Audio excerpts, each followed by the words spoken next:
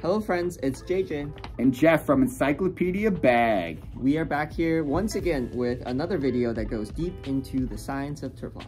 The Future Cannabis Project video from last week, it's just a treasure trove of knowledge about curing and the development of terpenes. We'd like to share some more of that clip in our comments on it. All right. Kick it, JJ. What makes cannabis great? Turns out time is a factor in chemotype expression. The process of polymerization is magical. Studies show us that when cannabis is cured over time, we do not see an increase in the quantity of terpenes, but we see a measurable difference in terpene profile. Terpenes marry, commingle, and continue to develop and homogenize. The polymerization process takes what are fantastic individual terpenes and harmonizes them in a way specific to the genetics involved. It's like going from mono to stereo in flavor effects. So we know that during the curing phase, secondary metabolites reconnect to create new compounds not present at harvest. This is when the product becomes unique and stands out in the market.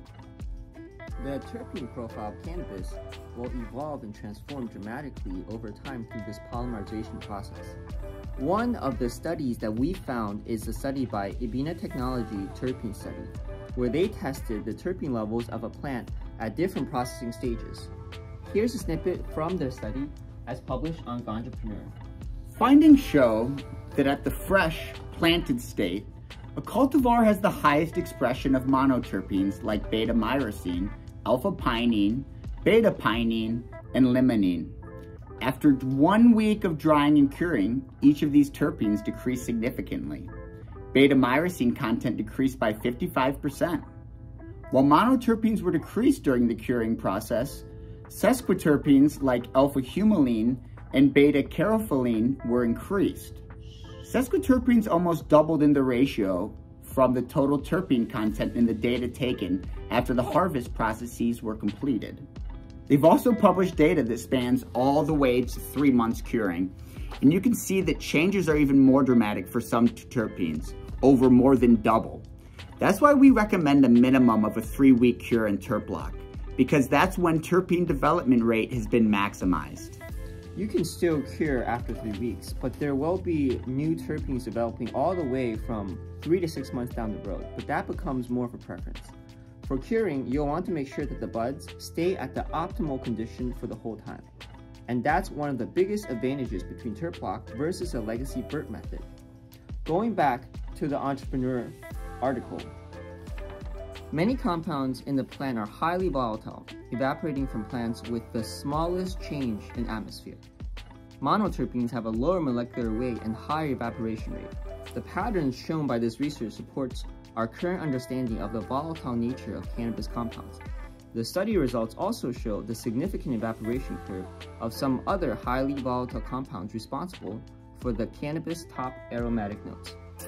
This paragraph explains why those who use Grove bags and TerpLoc share stories and pictures of superior side-by-side -side cure comparisons between jars. The key here is evaporating from plants with the smallest change in atmosphere.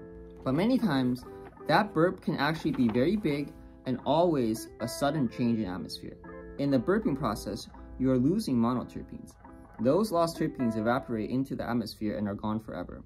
Those terpenes are what separates the mids from the top shelf because they are so fleeting and hard to contain. That's what TerpLoc is for. With a TerpLoc bag full of cannabis, the aroma is deep and rich with a thick range of terpenes with a special flair of those delicate monoterpenes. This is because the atmospheric conditions stay constant the whole time, unlike the burp curing method. You have to burp to keep the humidity in check so terpenes can develop, but in doing so, you are causing the monoterpenes to evaporate. It's the lesser of two evils. There's just no way around it.